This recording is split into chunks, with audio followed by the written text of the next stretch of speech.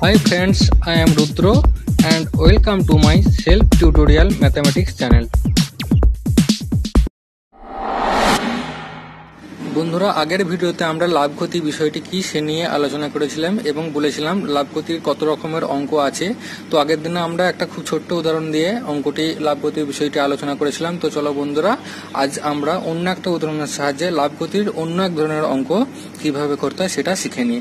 আমরা উদাহরণ হিসেবে আজ এই অঙ্কটি নিয়ে নিয়েছি। অমলবাবু একটি ছবি কুড়ি পার্সেন্ট ক্ষতিতে বিক্রয় করলেন, কিন্তু আরও দুশো টাকা বেশি মূল্যে বিক্রয় করলে পাঁচ পার্সেন্ট লাভ বেশি করতেন। তো ছবিটির ক্রয় মূল্য কত?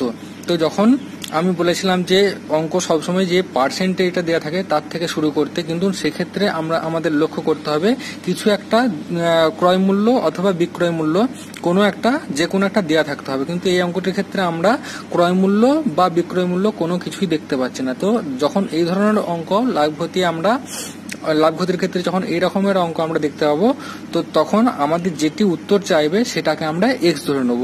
অর্থাৎ বীজগণিতের সাহায্য নিয়ে আমরা অঙ্কটি করার চেষ্টা করব, তাহলে কিন্তু খুব সহজে অঙ্কটি হয়ে যাবে। তো এখানে আমাদের উত্তর কি চেয়েছে? ছবিটির ক্রয় মূল্য কত? তো যেটাই আমাদের উত্তর চাইবে, সেটাকেই আমরা এক্স ধরে নেব। এখানে ক্রয় মূল্য উত্তর চেয়েছে, অথবা আমরা প্রথমে অঙ্কটা শুরু করব এভাবে। অর্থাৎ ক্রয় মূল্যটাকে আমরা এক্স ধরে নেব। ধরি ছবিটির ক্রয় মূল্য সমান এক্স টাকা। তো ছবিটি যখন ক্রয় মূল্য আমরা এক্স টাকা ধরছি, তো প্রথমে কি বলেছে যে কুড়ি পার্সেন্ট ক্ষতিতে বিক্রয় করেছেন। তো আমরা এখন লিখব, অতএব কুড়ি পার্সেন্ট ক্ষতিতে ছবিটির বিক্রয় মূল্য। সমান কুড়ি পার্সেন্ট ক্ষতিতে ছবিটির বিক্রয় মূল্য কীভাবে বেরোবে?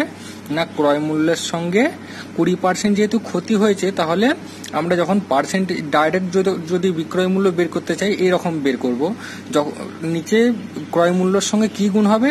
একটা ভগ্নাংশ গুণ হবে, যার নিচে থাকবে সবসময় একশো, আর যদি ক্ষতি হয়, যত পার্সেন্ট ক্ষতি হচ্ছে একশো থেকে সেটা বিয়োগ করে যত হবে, সেটা উপরে লিখে দেবো। এখানে আশি হবে যেহেতু কুড়ি পার্সেন্ট ক্ষতি হয়েছে, একশো থেকে কুড়ি বিয়োগ করলে আশি হবে। আর যদি লাভ হতো, তাহলে একশোর সঙ্গে আমাদের যত পার্সেন্ট লাভ হয়েছে, তত যোগ করে উপরে বোস করাতাম এটা ডাইরেক্ট বা সরাসরি বিক্রয় মূল্য বের করার নিয়ম। বিক্রয় মূল্য সরাসরি বের করার নিয়ম আমরা কি জানলাম? না, ক্রয় মূল্যের সাথে কি গুণ হবে?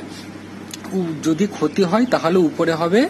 যত পার্সেন্ট ক্ষতি একশো থেকে তত বিয়োগ করে যত সংখ্যাটি বেরোবে, সেটি উপরে আর নিচে একশো, একশোর নিচে সবসময়তেই থাকবে।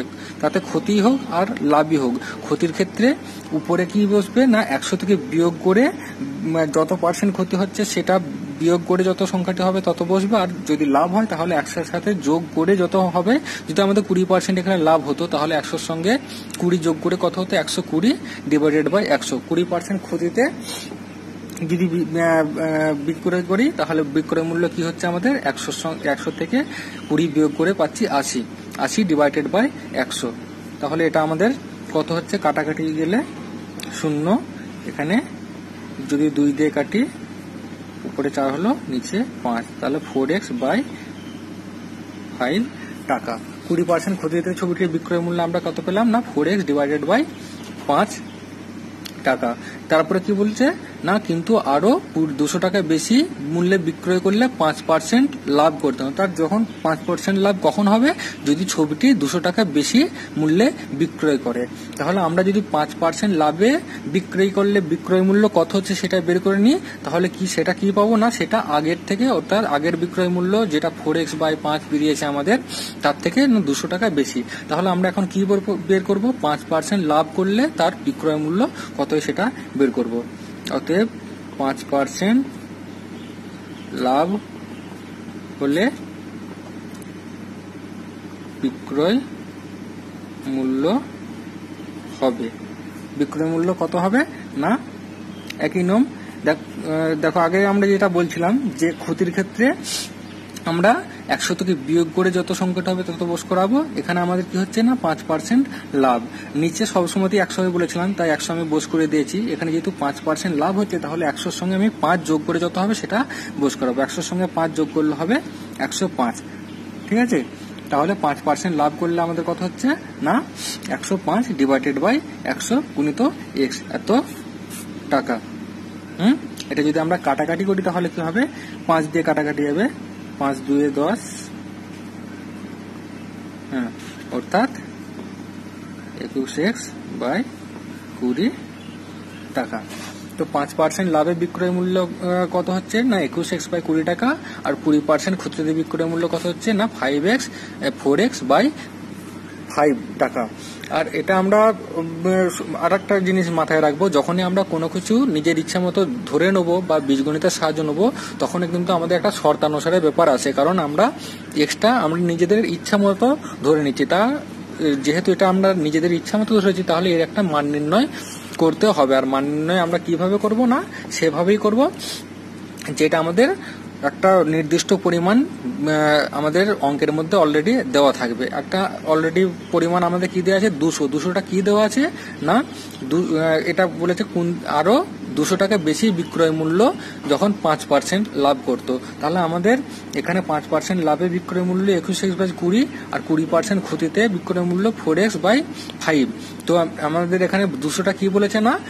এটা পাঁচ পার্সেন্ট লাভে যেটা বিক্রয় মূল্য, সেটা এর থেকে দুশো টাকা বেশি। অর্থাৎ এই যেই বিক্রয় মূল্যটা বেড়েছে একুশ এক্স বাই কুড়ি, এর থেকে যদি ফোর এক্স বাই ফাইভ বিয়োগ করি, সেটার পরিমাণ হবে দুশো। তো প্রথমেই বললাম, যখন আমরা নিজেদের ইচ্ছা মতো কিছু একটা ধরে নেব, তখন আমাদের শর্তানুসারে বিষয় আসবে। শর্তানুসারে আমরা কি করব? না, যেটা আমাদের অঙ্কে একটা পরিমাণ দেওয়া থাকবে, সেটাই শর্তানুসারে হবে। দুশো দেওয়া আছে, তাহলে দুশোটা আমাদের কি? সেটা আমরা এখানে বের করব। দুশোটা আমাদের কি? না এই বিক্রয় মূল্যটা এর থেকে দুশো টাকা বেশি। অর্থাৎ এটা বিযুক্ত, এটা সমান দুশো। সেটাই আমরা শর্তানুসারে করব। অতএব শর্তে কি?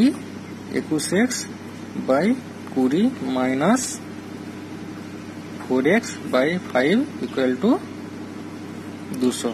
তো এরপরে এটার সমাধান করব আমরা। এখানে আমরা লসাগু করব। লসাগু কত হবে? না, একশো একশো নয়।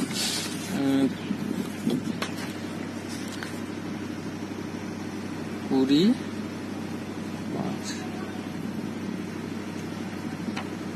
উম, কুড়ি। লোসাগ আমাদের কুড়ি হলো তো এখানে হবে একুশ এক্স মাইনাস এখানে চার চারে ষোলো এক্স সমান দুশো। এটা আমাদের লোসাগুটা আলাদা। তো এটা যদি আমরা সমাধান করি ষোলো এক্স একুশ এক্স মাইনাস ষোলো এক্স সমান কত হবে? পাঁচ এক্স আর এখানে কোনা কোনি যদি আমরা গুণ করে নিই, দুশো গুণিত কুড়ি বা এক্স সমান কি হবে? দুশো ইন্টু কুড়ি ডিভাইডেড বাই পাঁচ। পাঁচ চারে কুড়ি সমান আটশো। আট অর্থাৎ এক্সের মান আমরা কি পেলাম? না, আটশো। আর এক্সটা আমরা কি ধরেছিলাম? না, ছবিটির ক্রয় মূল্য। আর আমাদের দেখো, সেটাই উত্তর বের করতে বলেছে। না, ছবিটির ক্রয় মূল্য কত? ছবিটির ক্রয় মূল্য আমরা ধরেছিলাম এক্স টাকা। আর এখানে এক্সের মান বেরোলো আটশো। অর্থাৎ আমরা এখানে উত্তর লিখে দিতে পারব। অতএব ছবিটির ক্রয় মূল্য সমান আটশো টাকা। এটা হয়ে যাবে আমাদের অ্যান্সার তো বন্ধুরা, বুঝতে পারলে? লাভ ক্ষতির অন্য একটা ধরনের অঙ্ক আমরা আজ আলোচনা করলাম। তো তোমরা অবশ্যই আশা করি বুঝতে পেরেছ। যদি বুঝতে না পারো তোমরা অবশ্যই আমাকে কমেন্ট করে জানাবে। আর আহ, আরও বিভিন্ন ধরনের লাভ ক্ষতির অঙ্ক আছে সেগুলি জানার জন্য তোমরা অবশ্যই চ্যানেলটি সাবস্ক্রাইব করো। আর অবশ্যই লাইক আর শেয়ার করো যাতে করে পরবর্তী ভিডিওর নোটিফিকেশন তোমাদের কাছে পৌঁছে যায়। তো বন্ধুরা আজকের মতো এ পর্যন্তই।